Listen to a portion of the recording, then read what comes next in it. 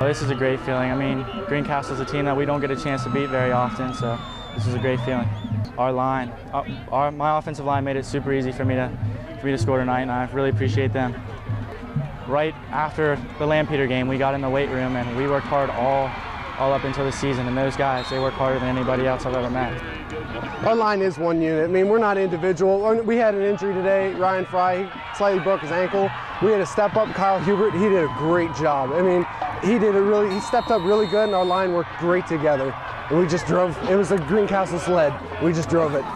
You know, our running backs, you got William Burt, Tony Johnson, who's uh, could be injured right now, so my thoughts are with him. And then you got uh, Jeremy Ray, and they're just great running backs. And Ty Cater also. Then they see a hole, they hit it no matter what.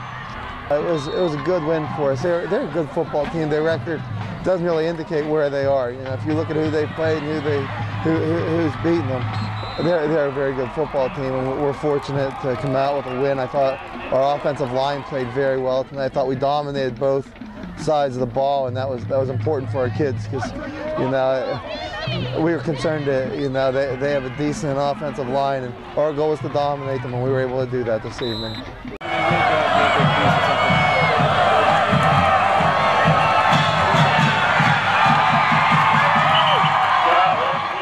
That's ridiculous.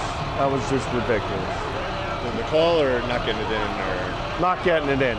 It wasn't. It wasn't even a yard. It was about three inches. You don't get it on a sneak. You don't deserve to win. Not on three inches.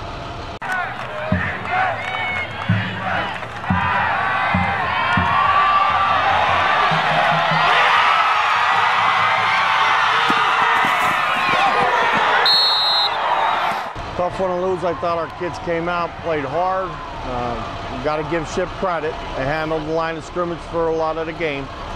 And uh, we, we moved the ball. We did some things offensively, but uh, if we want to win, we can't turn the ball over. Kills our momentum, and uh, we got to finish drives. Doing really good on defense. The D line really stepped it up there. We were good at staying at home, keeping in our lanes, and the linebackers were hitting people with- like they're supposed to. Secondary did, did, did good, good job covering. Great win for us. You know, we just got to work for next week, and we got Northern. You know, that's pretty much the conference title there. So we got to come out twice as hard next week.